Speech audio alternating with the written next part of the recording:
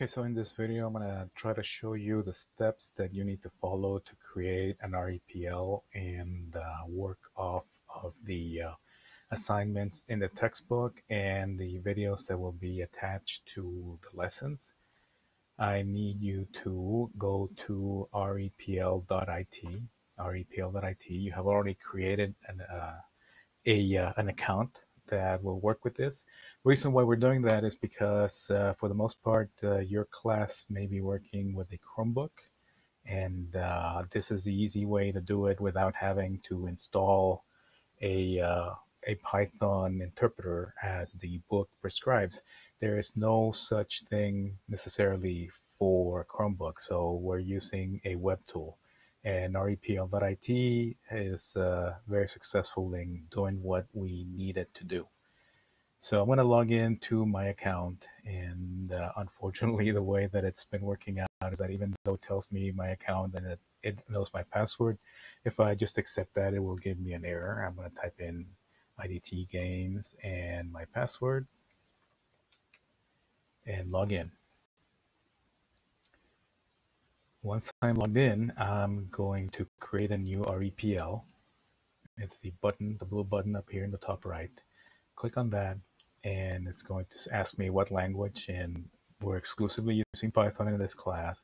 It might tell me a lot of stuff over here. I'm gonna press the backspace to delete it because as an example, I'm just going to tell you something that, that happens in chapter four.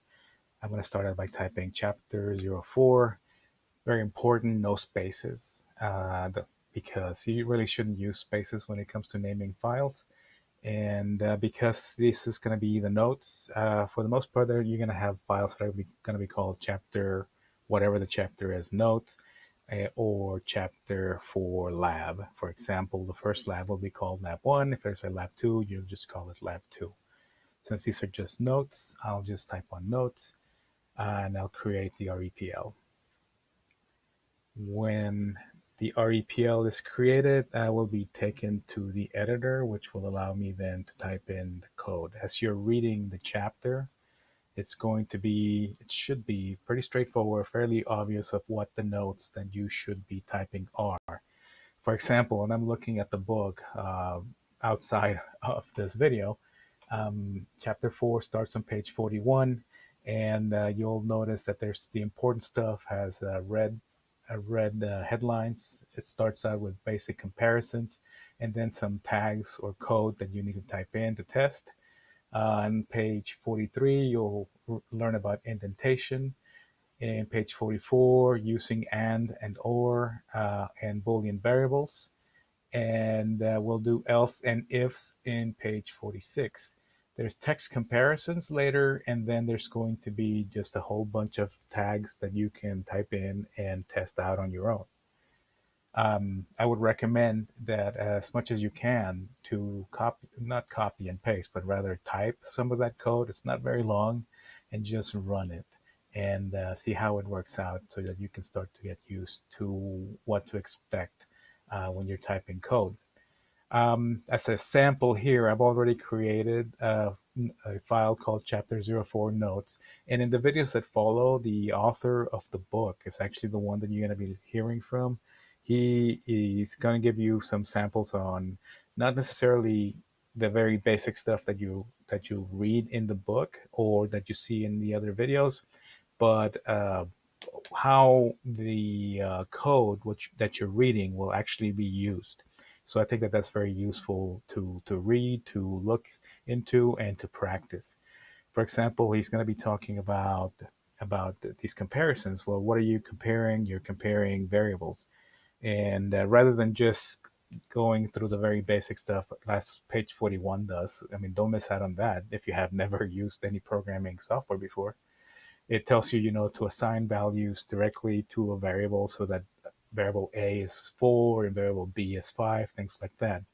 Since we want to program games, this one, these videos will actually are a little bit going to be more practical. So uh, it's going to be asking you things like, well, you're going to be dealing with temperature.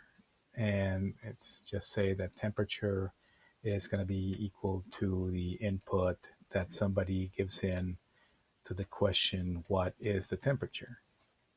This is something that you did in the previous lab, question mark. And then say something, well, because temperature is actually put in as a string, you have to convert it to a uh, integer, a number. So temperature is equal to the integer of the temperature. And then if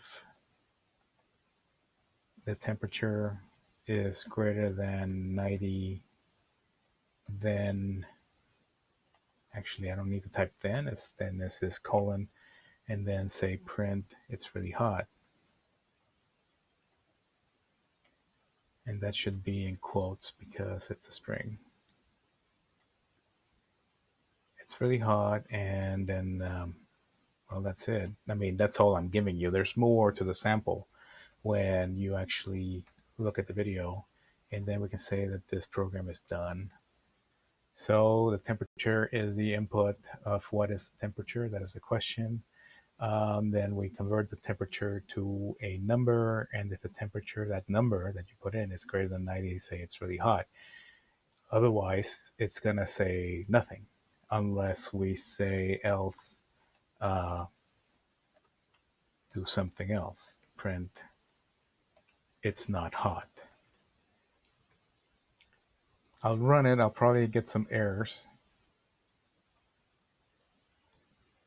But it says, what is the temperature? Well, I didn't spell it correctly, and that's okay. Let's just say that it's 95 degrees. Enter, and it tells me, oh, it's really hot. Well, that'll give me, I guess, the opportunity now to say, what is the temperature? Where did I misspell it? I'm sure I misspelled it somewhere. Uh, so what is the temperature? It's 90. And let's run it again and uh, give it a different answer. It's going to be less than 90. Let's say it's 60. And I guess I should stop it. No, I should run it. Okay, so it's not hot. So I put in 95 and the result of this was that it was really hot. And if 60 was, it says it's not hot. So in the following videos, you're actually going to get more instruction of what this should be. Make sure that you type the uh, the code that the author types in, and uh, when you're all said and done, make sure that you go and look at the instructions for this part of the chapter so that you know what to turn in. I'm going to be creating one more video uh, after the ones that you see from the author that is going to give you some hints on how to go about uh, creating and turning in the um, the exercises. And speaking of turning in, now that this is done, this chapter four notes is what I, I need you to turn in. I mean, the um, the files. If you click on your icon here, it's going to give you the opportunity to look at your REPLs. Here's this one, it's called chapter four, zero notes. When I tell you turn in your chapter four notes or your chapter five lab or whatever it may be, that's what I'm looking for. I click on that, you'll notice how then it gives me this full address. I need you then to copy or cut or retype all of this in. You can just cut that so that when you paste it in the um, in the space on eCampus, I'll be able to click on it and go directly to your assignment by just putting it in the address bar. If you have any questions about how to go about uh, typing in the code, how to save it, and how to turn it in, please send me an email uh, or go into the um, into the Slack channel and uh, ask a question, make a comment.